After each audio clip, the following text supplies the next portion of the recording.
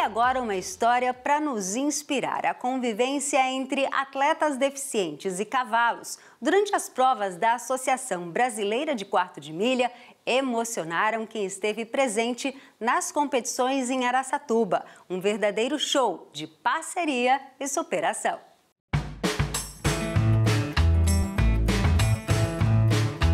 A convivência entre os animais e os seres humanos tem diversas vantagens. Com o cavalo não é diferente, ainda mais quando essa relação é de troca de confiança. A ABQM, Associação Brasileira de Criadores de Cavalo Quarto de Milha, promove desde 2016 o Campeonato de Paratambor para atletas com deficiência. Este ano, ao todo, 31 competidores estão inscritos para as provas em Araçatuba, no interior paulista. O Cláudio de Pindamonhangaba é um deles e foi por meio de um amigo que ele começou a treinar em janeiro. Em 2015, o Cláudio foi atingido por um tiro nas costas e ficou paraplégico. Os treinos em parceria com o cavalo têm sido fundamentais. A minha lesão é muito alta, né? A minha lesão é T3. E o cavalo me ajuda muito né? na, na, na no desenvolvimento do meu corpo também, entendeu?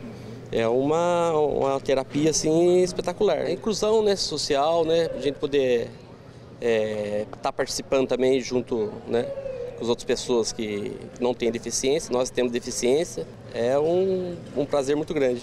O Jefferson também veio de Pinamonhangaba. Ele era campeão de rodeio. Devido a um acidente de moto, teve complicações e precisou amputar a perna. Essa é a primeira vez que ele participa do Campeonato Nacional de Três Tambores e confessou estar ansioso para a estreia. É muito importante, mais do que ganhar o troféu, é a inclusão da pessoa com deficiência na sociedade.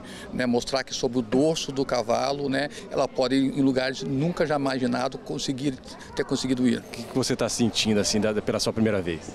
Rapaz, você sabe que eu nasci com cavalo, lido com cavalo, mas o frio, né, né além eu sou treinador, mas o frio na, na, na, barriga é muito grande. A prova dos três tambores é uma competição que testa a agilidade e a velocidade do cavalo e do cavaleiro. A pista é demarcada por tambores e é preciso passar pelo percurso no menor tempo possível. As regras dentro da arena de competição são adaptadas conforme a deficiência de cada atleta.